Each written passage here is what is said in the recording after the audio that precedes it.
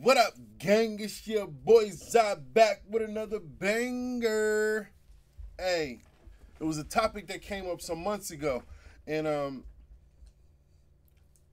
I did a video on seedless watermelon probably about a year ago. It was a quick little video, just trying to brush the surface when it came to polyploids, and um, I really wanted all the uh, conversation around triploids to kind of die down before we got into a more in-depth explanation of polyploids.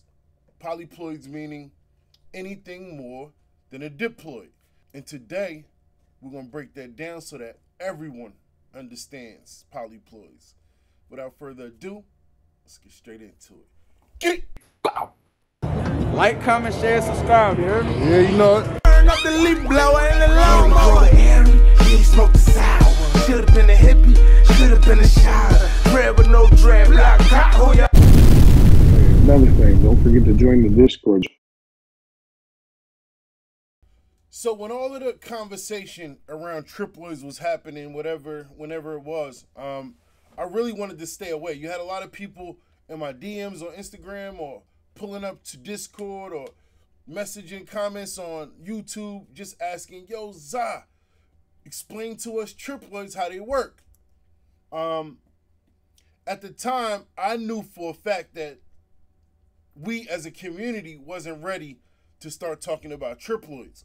Um, we have yet to have a strong foundation on polyploids as a whole. So today, I really wanted to um, help you guys grasp the concept of not just um, diploids, but also uh, triploids, tetraploids, hexaploids, having a good understanding and a good strong foundation just in case somebody ever tries to wave some fancy little words in your face, man. All right. Most plants and organisms in general are diploids, diploids, diploids, however you want to pronounce it, right? That means they have two sets of chromosomes. But in order to understand a diploid, we need to start with a haploid. If a diploid is a organism with two sets of chromosomes, a haploid is an organism with just one set of chromosomes. So that's sort of the beginning, right? In most normal situations, um, an organism is going to get a set of chromosome from each parent, mother and father. So generally, they'll have two. Many organisms have more than two. This is uh, a polyploid. In agriculture, we've seen um, science and agriculture step outside of the normal diploid, uh, which we used to, right? The normal two sets of chromosomes. We also know that in some cases, some organisms naturally occur with more than two sets of chromosomes.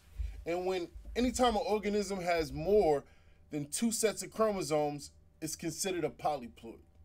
All right. Um, anything that's more than a diploid is considered a polyploid. And we may hear that term tossed around a bit throughout our community, but today I really wanted to give a good, strong understanding of what it is, right? Polyploid is any organism that has more than two sets of chromosomes.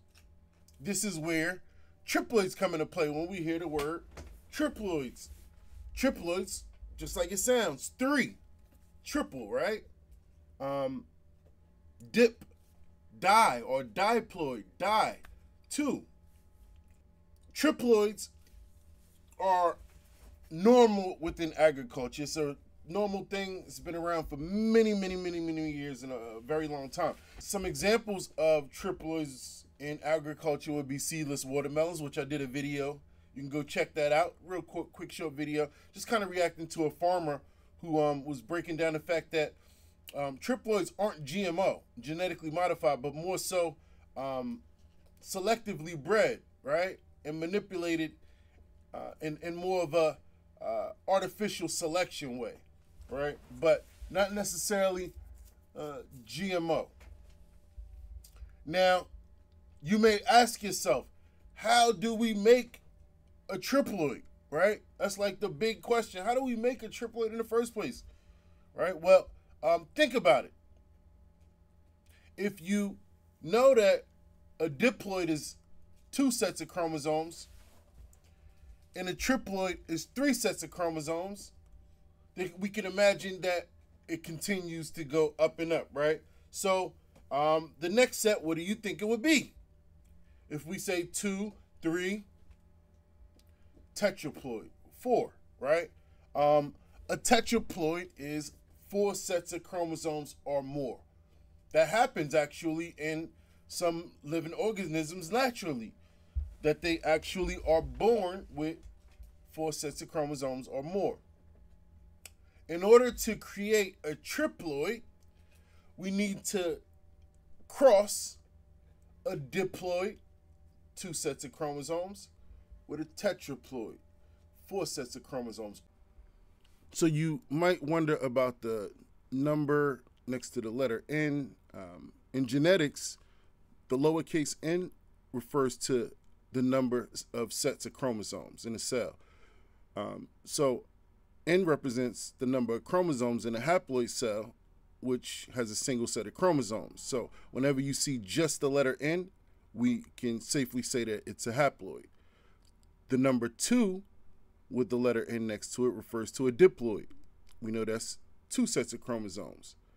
And 3N refers to a triploid, 4N to a tetraploid, so forth and so on. Farmers over the years have simply bred the diploid with the tetraploid in order to create triploid offspring, triploidy offspring.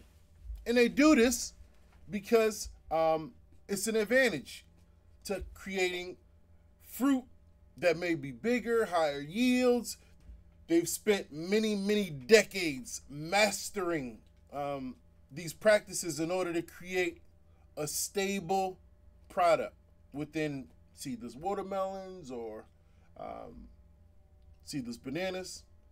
We also know that other fruits um, are a result of triploids as well. Some of your favorite fruits, grapes, um, seedless grapes to be exact.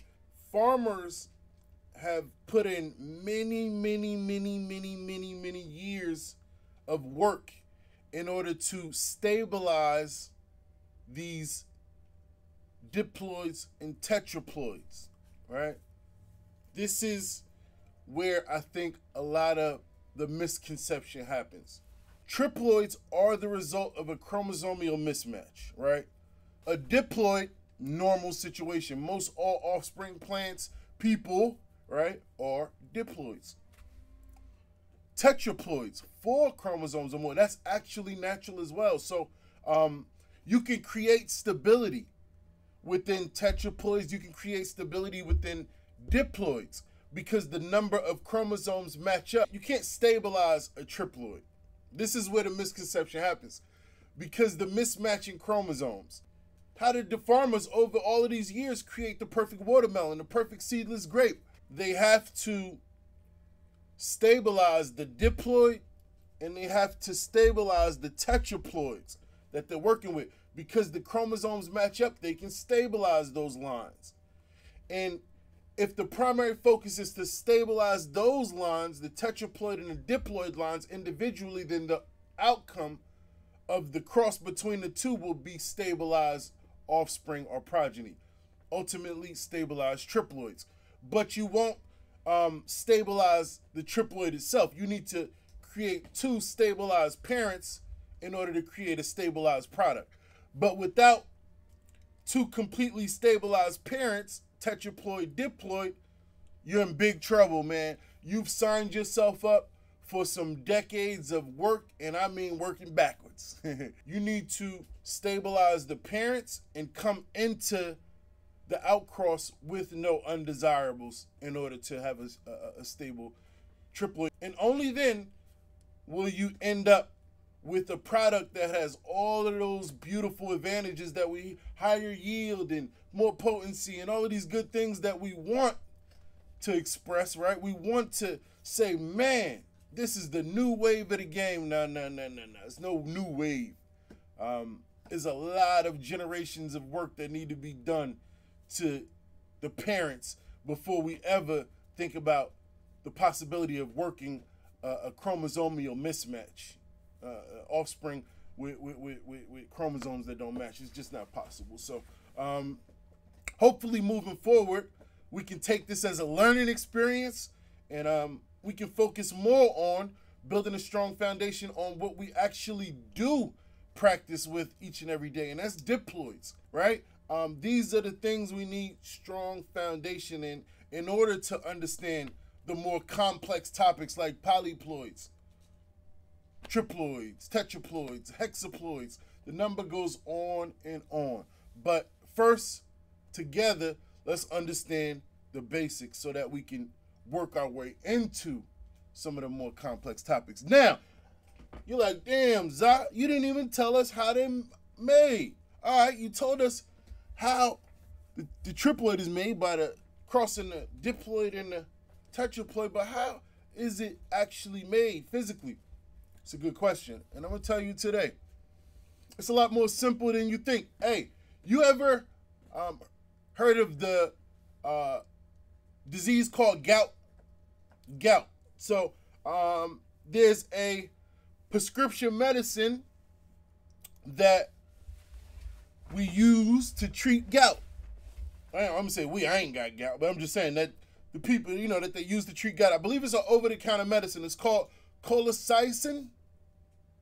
I might have chopped that up, but um, colic. Let me see. Let me spell it for you. Let me find it real quick. C O L C H I C I N E. Colchicine. Colchicine. All right, so that is an over over the counter product used to treat gout. That is the chemical we use to induce polyploidism. If you want to uh, induce polyploidism to create a, tetra, a tetraploid, so you um, uh, can then cross it with one of your normal diploid plants, ultimately creating a, a, a triploid, then you want to go grab some gout medicine. Whatever is, however you pronounce it, I spelled it for you, so you can go find it. Go get you some gout medicine, man. You hear me? And we're gonna get you some triploids, man. But don't worry about no triploids, man.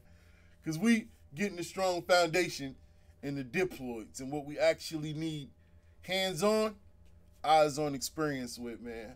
It's been another banger. I, I gotta admit, it's been another banger. And I appreciate y'all.